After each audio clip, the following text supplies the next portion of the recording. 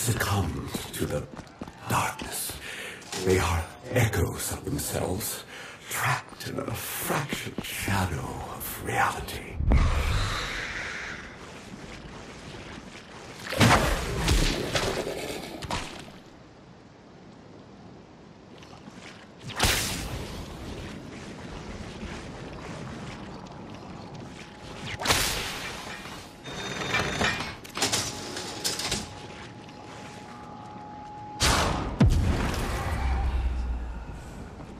Everything looked a little different when I was like that. Like after a few beers.